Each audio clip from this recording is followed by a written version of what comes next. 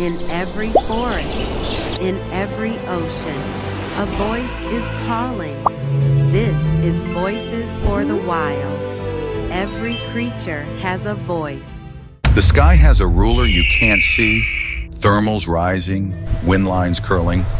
And riding those invisible roads is the bald eagle, a North American raptor built for lift, power, and patience. It is the national symbol of the United States, but the real story lives far from flags and seal stamps.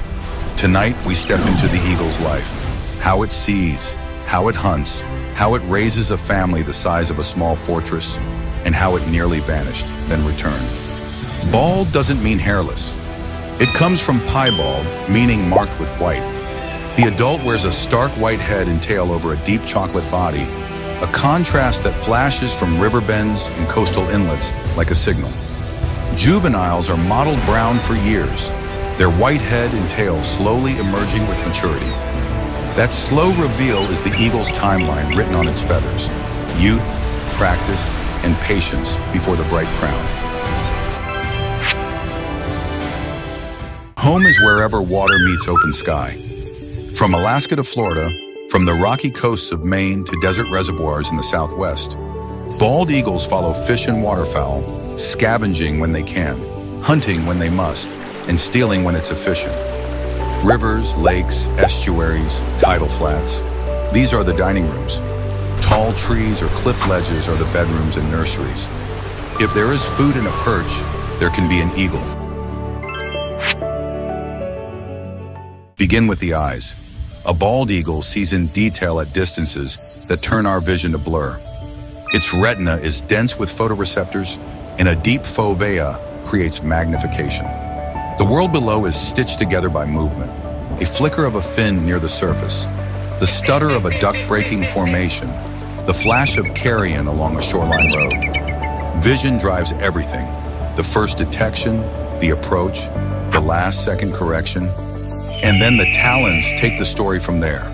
An eagle's feet are tools of capture and control.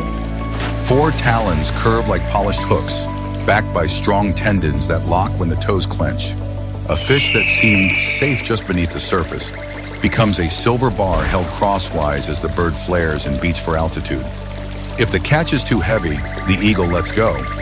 Efficiency is survival. There is no pride in the math of energy, only margins and outcomes. Hunting styles shift with water and season. Over clear lakes on calm mornings, an eagle cruises low, scanning for trout or salmon within reach. Over tidal mudflats, it watches for stranded fish and crabs. Along rivers crowded with spawning runs, eagles line the banks like patient thieves. Sometimes they take waterfowl on the wing, slipping into pursuit when a flock panics and someone makes a mistake. Sometimes they simply wait. A headwind pins ducks low, and an eagle lifts from a cottonwood like a trapdoor sprung. They are also opportunists and unapologetic thieves. Ospreys catch fish with spectacular dives, feet first into the water.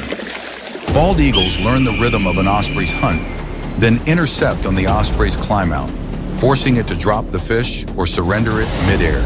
To some eyes, that's laziness. To an eagle, it's calculus. Why spend the energy yourself when you can outsource the risk? Flight is not brute force, it's finesse. The eagle's wings are broad, the primaries fingered at the tips to manage turbulence.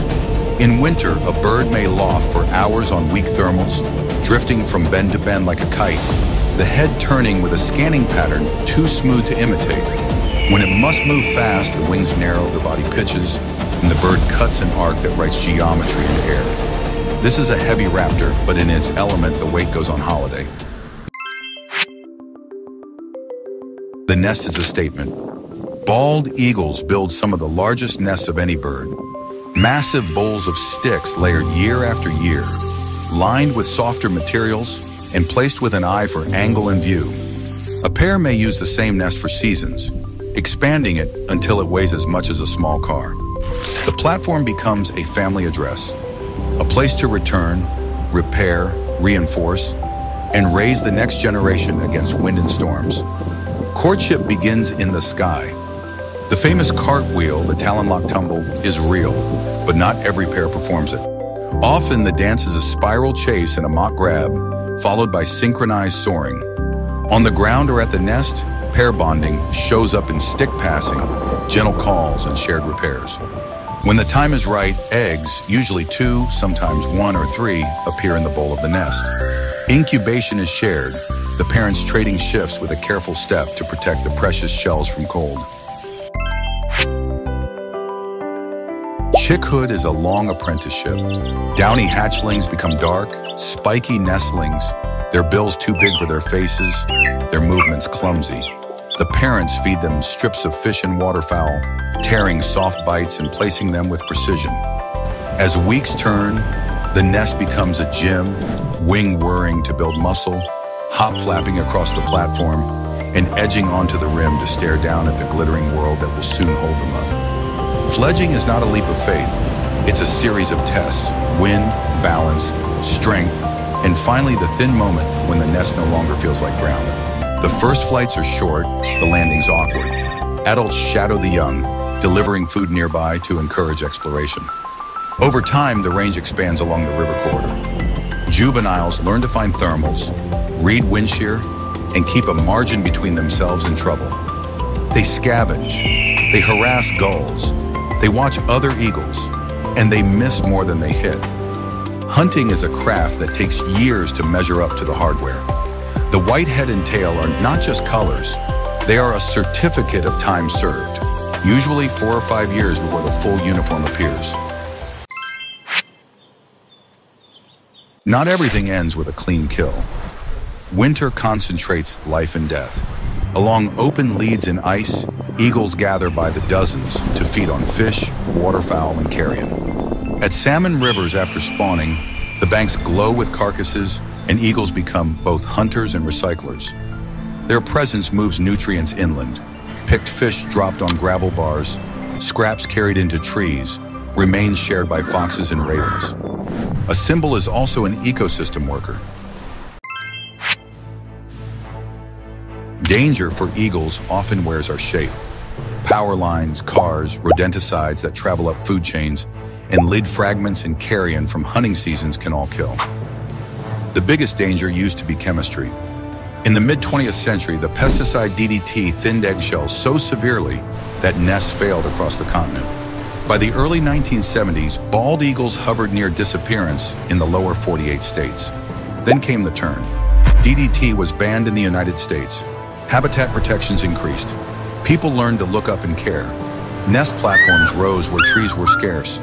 Wildlife agencies guarded roosts and closed sensitive areas when needed. The species responded. Clutch by clutch, season by season, bald eagles returned to lakes and rivers that had not held them in a lifetime. Their comeback is not an accident. It is a ledger of decisions that added up to flight. The eagle's diet remains pragmatic.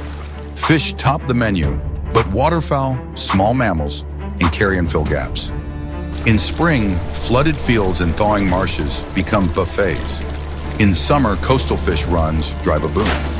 In fall, migration concentrates prey and scavenging opportunities. In deep winter, eagles drift to the places that stay open dams, warm outflows, tidal rivers, and seacoasts. The map is a flow of calories and the bird is a needle pointing towards surplus. Territory is flexible. A breeding pair defends the immediate nest area in the best perches. Winter roosts, by contrast, can be communal. Dozens of eagles sharing tall trees near feeding sites, their silhouettes like black leaves against white mornings. At dawn, the roost empties in ones and twos, each bird choosing a search pattern stitched to memory in the day's weather. Listen closely and you'll hear that the voice doesn't match the body. Hollywood often dubs an eagle with a red-tailed hawk's scream. The real call is a high, thin series of chirps and chatter. Surprisingly light for such a heavy bird. The mismatch is a reminder. Symbols aren't animals. The truth is often subtler and more interesting than the movie version. What does coexistence look like? It looks like keeping big trees near water where possible, or installing nest platforms where not. It looks like securing shorelines from unnecessary disturbance in breeding season and giving roost trees a buffer in winter, It looks like using non-lead ammunition where hunting and scavengers overlap. So carrion doesn't quietly poison what comes to clean it up. It looks like slowing down on river roads and watching for feeding birds near bridges and bends. If you're lucky enough to watch an eagle hunt, notice the pauses. The long glides with minimal flapping, the way the head stays level as the body rides chop, the slight lift as it decides, and the sudden, decisive drop to the surface. Success or miss, the bird resets quickly, circling back into position with no visible frustration. The ocean and the river do not reward drama, they reward efficiency. By the time the white head and tail arrive, the bird is an adult in truth and appearance. It may return to the area where it hatched, or it may settle elsewhere where food and perches align with less competition. If it pairs and breeds, the cycle begins again.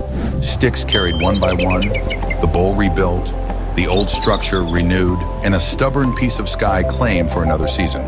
So here's the truth of the bald eagle. It is not just a symbol on paper. It is a working predator and a persistent survivor. It sees farther than we do, lifts more than it seems, and balances the ledger of energy with a thrift accountant's eye. It hunts when it must, steals when it's smart, scavenges when it's practical, and raises young with patience measured in weeks of wind and weather. It almost left us. We changed and it returned. On a clear morning, find a river bend and look up. You might see a dark bird with a white head riding a pale band of air, the feathers at the wingtips splayed like fingers feeling the wind. It will tilt, then straighten, then write a quiet sentence across the sky that only it can read. The sentence means food, safety, home. It means a species that learned our world and outlasted our mistakes. The bald eagle rises, exhales into the cool, and keeps going. One more line of wild script across a human century.